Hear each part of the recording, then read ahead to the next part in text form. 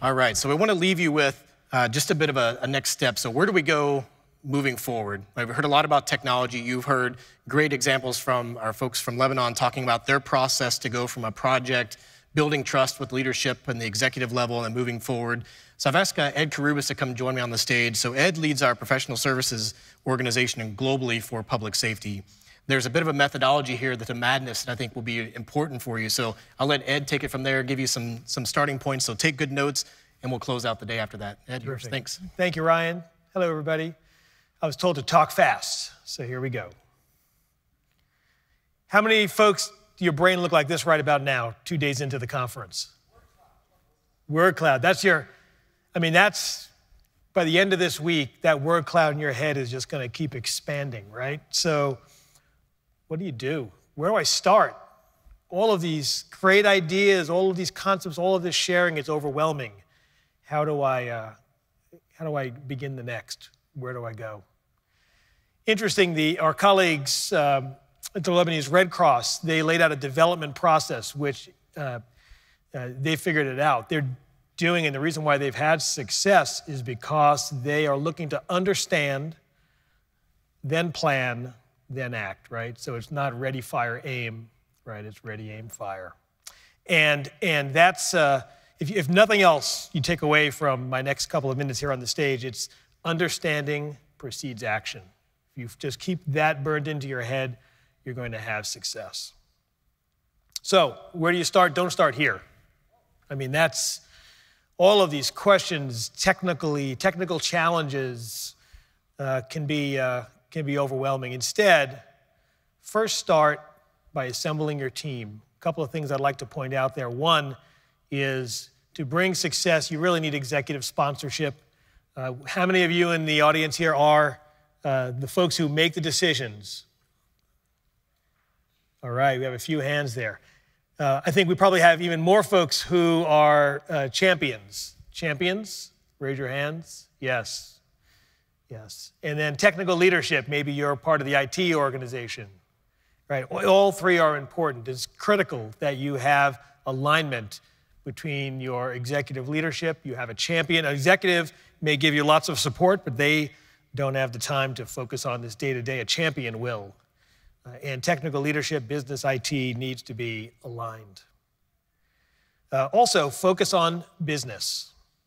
Uh, these are the kinds of questions, right, that you should be asking. Don't start with, oh, how do I, you know, how do I build the architecture? Start here. Start with asking questions and try to understand what are the business drivers in your organization that are, uh, are presenting challenges for you today engage across the entire organization. Many great examples here so far in the last day and a half uh, in terms of uh, real, and, and, the feedback. I'm, uh, Harry and Christine just talked about that, right? Talked about the exercise, getting feedback, how important that is, engaging.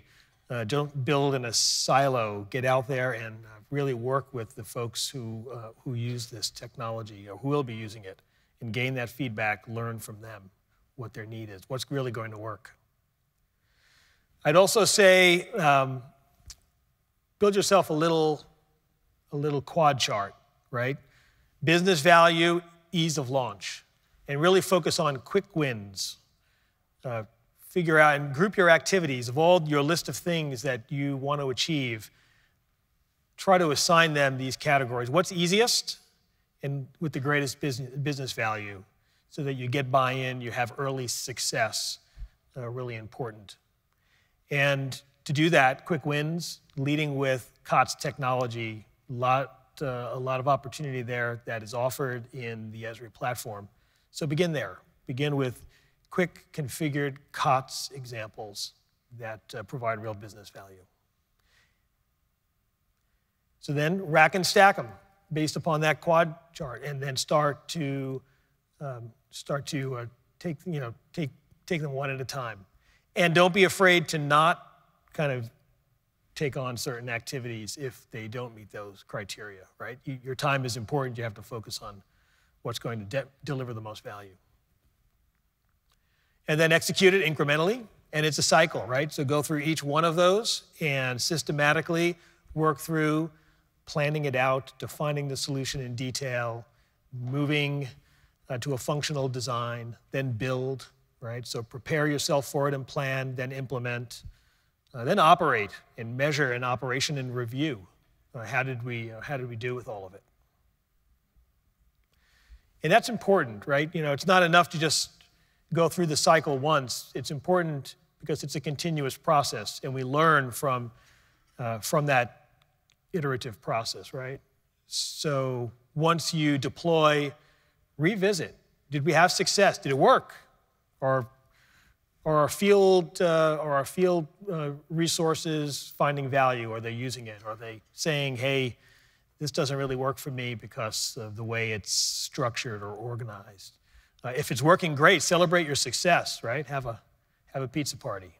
But, uh, and if not, you know, go back in, go through the cycle, iterate, and, and improve upon it. So with that, uh, thank you. I think we'll probably hold questions. And I'll hand back to Ryan to take us to the break. Perfect. Thank you, Ed. Appreciate that. So let's give Ed a round of applause. So